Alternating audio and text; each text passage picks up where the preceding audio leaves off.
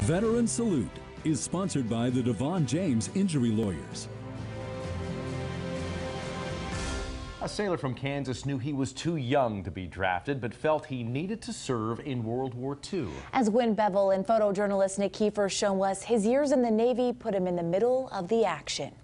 Frank Shiner says he hadn't even mentioned the Navy to his parents when he handed his father a permission slip, but without hesitation, his father signed it, and Shiner was off to serve. This is when I was first in, when I first went in. And it didn't take Frank Shiner long to get into some hot water by loaning a fellow sailor his ID. His punishment was bread and water only. The Marines were great. They slipped the stuff in, in between the bread and, and they gave us the candy and then in the evening they let us smoke, you know. He also slipped up on his curfew. My buddy and I, and we didn't get in in time. We came back 15 minutes late. Uh, we got fined a month's pay. A month's pay was $78 back in those days, and despite the trouble he found, he says life in the Navy was good. You could go in any room, workroom, and you'll find somebody sitting on the bench that they were playing cards. He says they also celebrated Mass on the ship and even got to take day passes to places like the Royal Hawaiian on Waikiki Beach. I got pictures. Like this one of the crew of electricians he worked with. Whatever got damaged in the electric, electrical pod, I was there to do what I could to fix it. And he says their job was key after the ship would take a hit. They had a lot of kamikazes.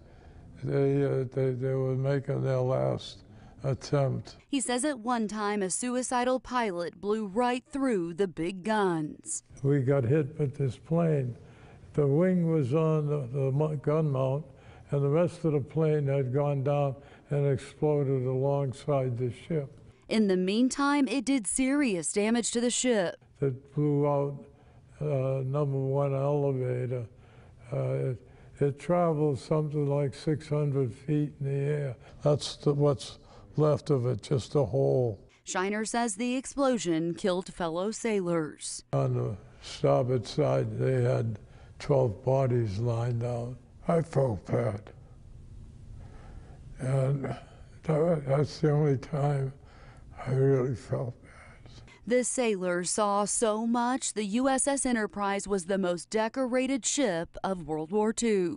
This is a list of all the uh, actions, the battles that we took. The ship saw more than 20 battles. I have the, a piece of the plane uh, with me. It's a piece of the Japanese bomber from that fateful day. The wing was there, so I just took my hacksaw and cut that off. He's also held on to this, a plank from the ship deck. He says he's thankful to have spent those three years in the Pacific. And I still am. uh, only I'm not enlisting anymore. he says he would do it all over again if his country needed him, but the jokester says at nearly 95, he'd prefer a desk job this time around. Shiner says at one time the sailors rode a ferry boat to an island where he met a woman who was selling hot dogs. He says just a few weeks later, they were in line at the courthouse waiting to get married. He and Hilda went on to have eight children. Here for you, Gwen Bevel, KSN News 3.